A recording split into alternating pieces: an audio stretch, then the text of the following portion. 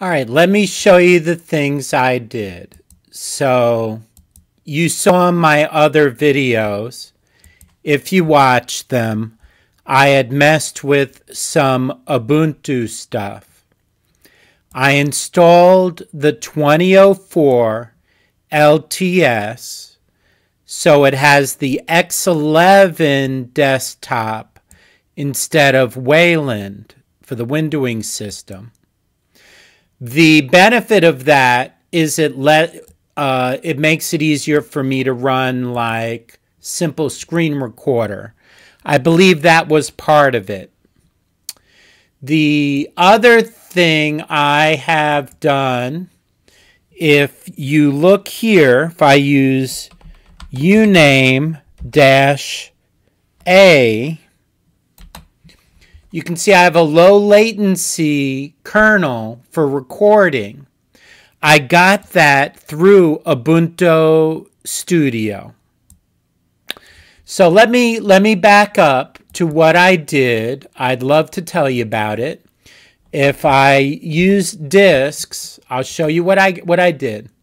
I installed a 3 terabyte drive. What I did was using the Ubuntu installer, I formatted the entire drive. Um, and what I did was I set the first um, partition as an EFI label for two gigabytes. Then I set up two blank 750 gigabyte partitions to uh, work on building things like uh, Arch, Gentoo, or Linux from scratch. Then um, I set up a logical partition that was 100 gigabytes, ext4, with the root symbol on it. Then I set another logical partition for the slash home at a thousand gigabytes, ext4, because you know I a lot of files go in the home folder. And then a another logical for swap. And that was a hundred gigabytes. I made that for the swap. We can discuss why I set it up like this and I left 299 gigabytes free space at the end of the logical partitions this way. So uh, the Linux from scratch will probably need to go on uh, outside of the logical partitions. When I set up the Ubuntu install, I told it to include the third party stuff.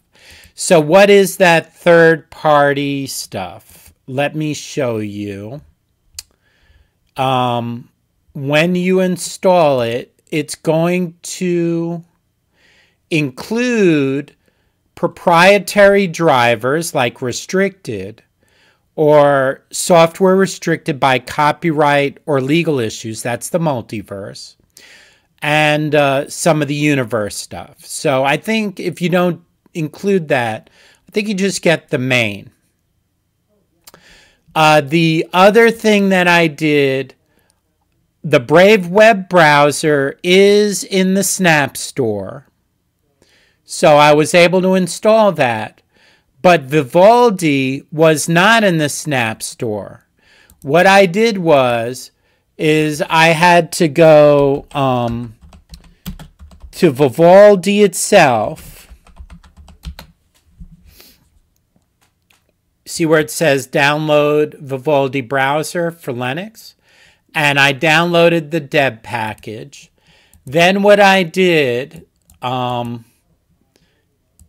is I opened with software install and it installed it.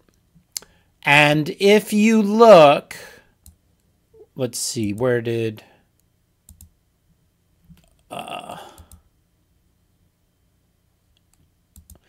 if if you look in the software